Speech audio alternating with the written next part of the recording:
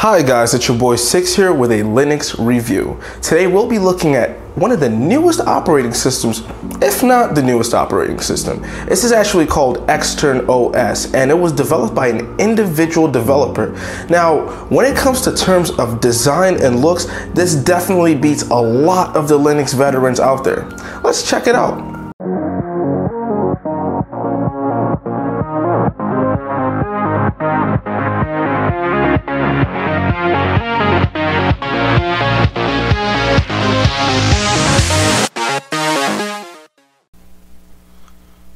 Okay, so now we're actually just going to make a brand new eXtern OS, basically boot disk on a virtual machine.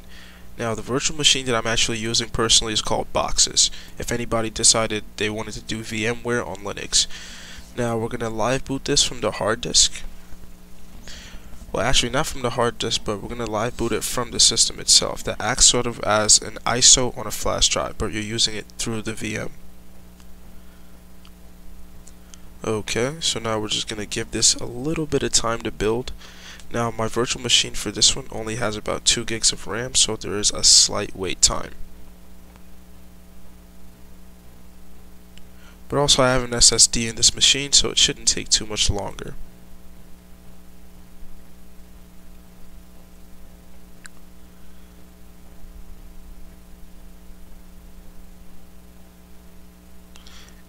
And it looks like we are actually in. Nice.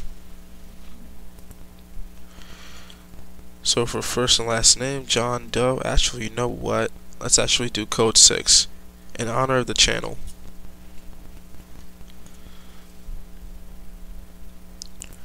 So we'll hit next.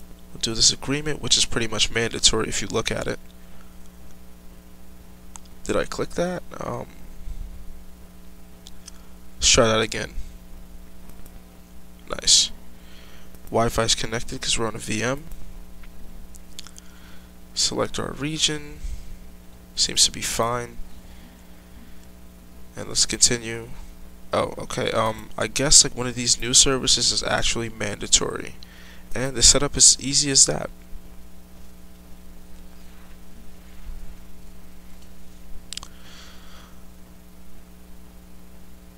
Okay, so now that we're actually in the desktop environment, what should we actually look at first? The menu seems to be very clean and a minimalistic design. Nothing on notifications, the volume panel pops up, default at 50%. This is very nice looking. And I actually love this. There's a native screen capture tool on this operating system because we know that a lot of distros or software in general, they don't give you like a default screen capture software, which is good.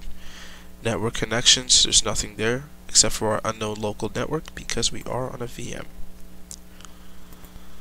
Now, this thing is interesting because it looks like the um, start menu on a Windows machine, but what does it actually do? Let's find out in a second.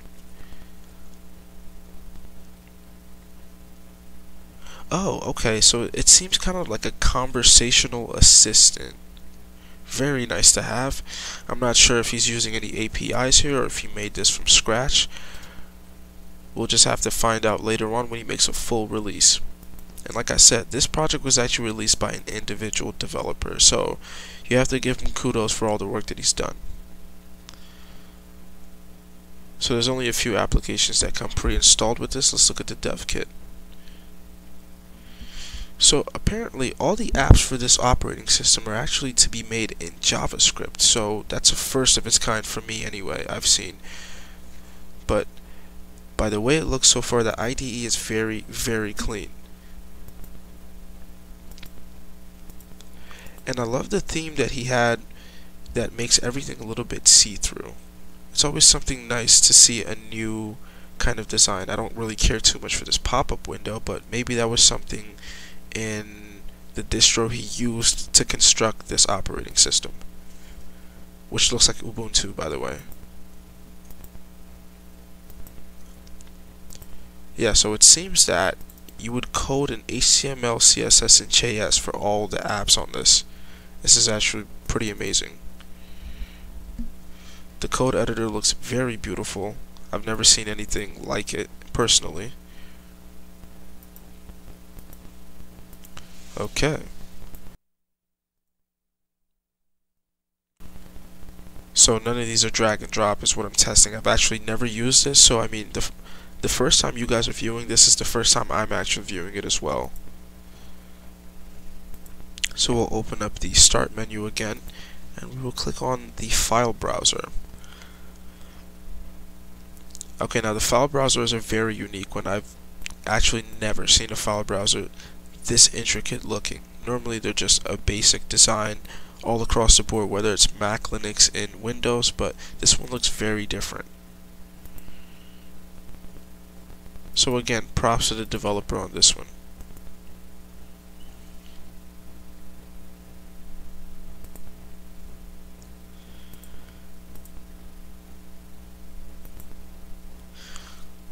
Okay, so the images don't really open up when you click them. You would have to right click and have like a sort of different kind of menu but that's completely fine. This OS is still in its beta stage, or actually not even the beta stage, it's still in its alpha stage.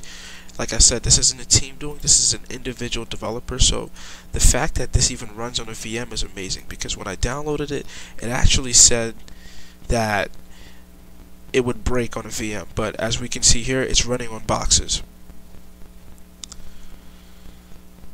So checking out the music player now, it's very elegant looking. Everything across this operating system has the same overall theme, which is good. Playing a little bit of TheFatRat in the background.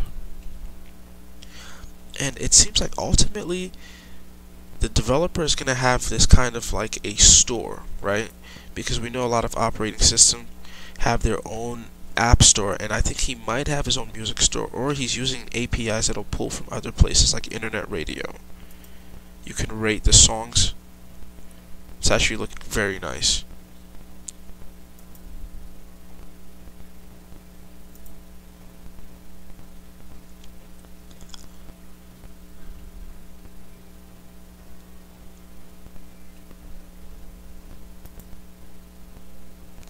Okay, so that button at the top left will actually get rid of our window, which is nice. And one thing I noticed is that there's a circle to maximize and minimize the screen. And I think, no, there's a button to maximize and minimize the screen, but the circle is actually to close everything out.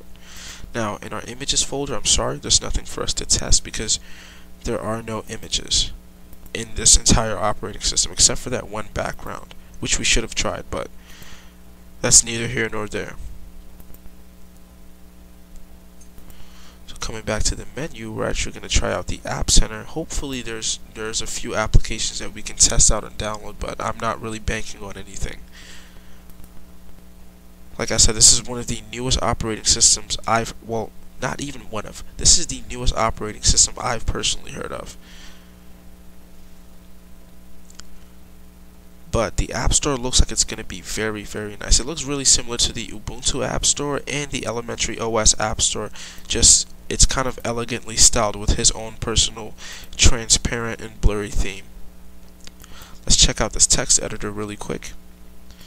Create a document name, we'll just call it new.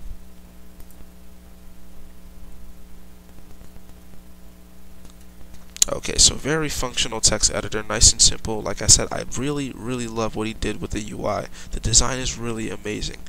And to be honest, it's just a resolution of my actual VM machine. But if this was on a 1080p screen, which would be a widescreen, I would prefer this look of OS over to I would prefer I would prefer this look over the Mac OS X look.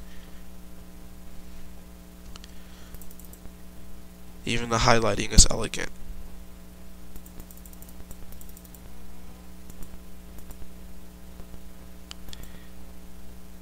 Search function seems to work. I can't be too sure. And the search function does work. So you can actually search for specific sentences, specific words, and things like that in your entire text file.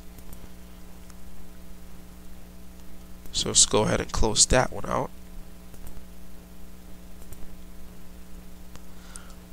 The next thing is live. I'm not sure what that could even be. Okay, so live is your video client, so you can open your local video files with this. Now, because there are no videos in there, I'm not sure if you can connect this to an online streaming platform. Only time will tell. And finally, we'll look at the browser.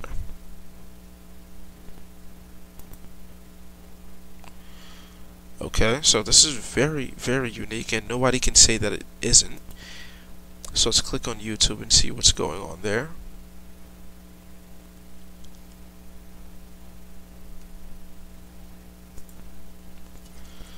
And let's type in code 6, see how our channel's doing so far. 63 subs. We gotta make this go to 100k someday eventually. And we're gonna go back to Google very fluid and responsive browser I have to add. It's actually not okay, this is something that's really good because when I searched for google.com, the DuckDuckGo browser came up. So this makes me think that we have the ability to change our search our search engine pretty much our default search engine. And yes, we do. There's a drop-down list, but it only has Google, Bing, or DuckDuckGo. In my personal opinion, Google, Bing, I mean, not Google, Bing, but Bing isn't a contender to Google or even Yahoo, but Google is supreme in that right.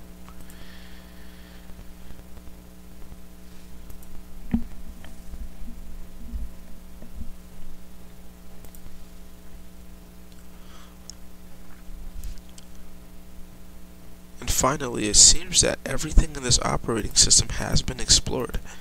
Now, I look at the tabs in the bottom to try and see if I can find a new sort of application, but it seems as though we've viewed everything.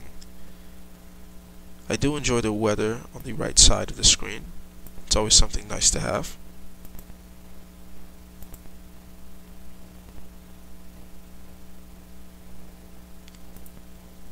Let's see, system settings looks exactly just with a little bit of styled icons as most of the Ubuntu desktops, the Linux Mint desktops, the Elementary OS desktop, Zorin OS, whatever you want to call it, most of the distros that are based off Ubuntu have a similarly looking settings menu.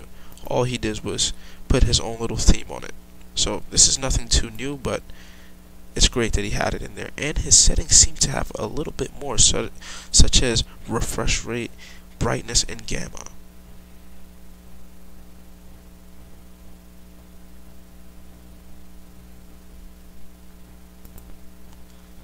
Nothing available for user profile, and the entire operating system isn't fully functional because it's still under development.